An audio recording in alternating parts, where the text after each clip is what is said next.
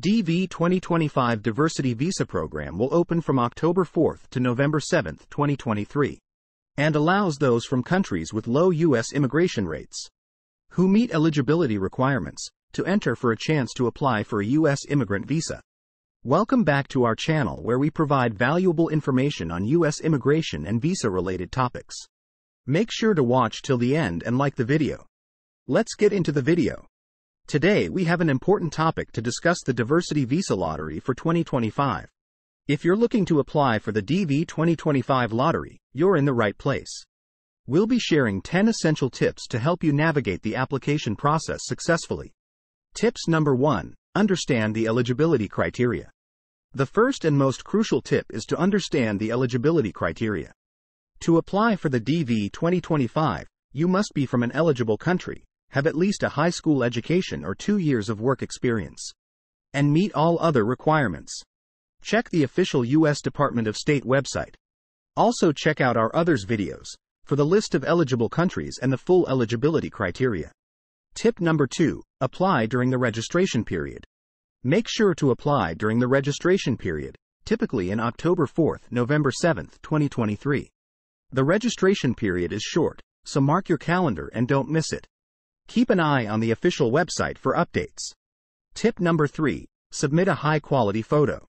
When submitting your photo, ensure it meets the requirements outlined by the U.S. Department of State. The photo should be recent, in color, and meet specific size and composition guidelines. We recommend using a professional photographer to ensure compliance.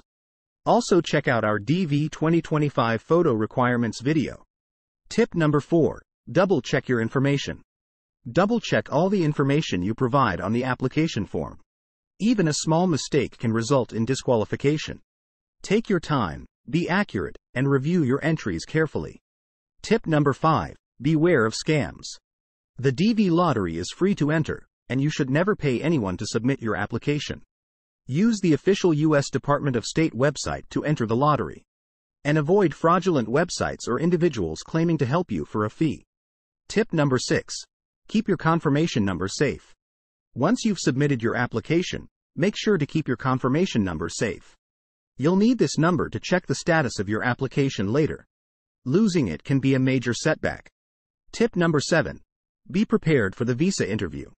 If you're selected as a DV lottery winner, you'll need to attend a visa interview at the U.S. Embassy or consulate in your home country. Be prepared for the interview by gathering all required documents, including police certificates, medical exams, and financial proof. Tip number 8. Understand visa fees. Understand the visa fees involved.